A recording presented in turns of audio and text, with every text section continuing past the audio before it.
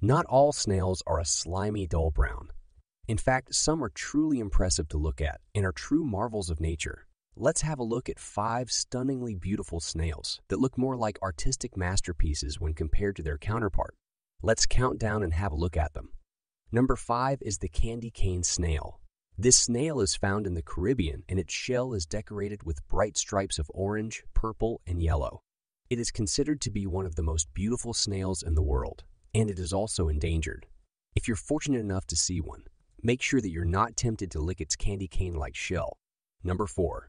Violet Sea Snail This snail is found in the tropical and subtropical parts of the Atlantic, Indian, and Pacific Oceans. Its shell is a deep purple color, and it is covered in a layer of mucus that helps it to float on the surface of the water. Varying shades of violet and purple are common. If you see this elusive snail, count yourself lucky. Number 3. Draparnaud's glass snail. This snail is found in Europe and Asia, and its shell is almost completely transparent. It is very small, only growing to about 10 millimeters in length. Its iridescent and translucent shell shimmers in the sunlight and looks like blown glass. Number 2. The painted snail. This snail is found in Cuba and it is known for its brightly colored shells. There are over 1,000 different color variants of the painted snail, making it one of the most diverse snail species in the world.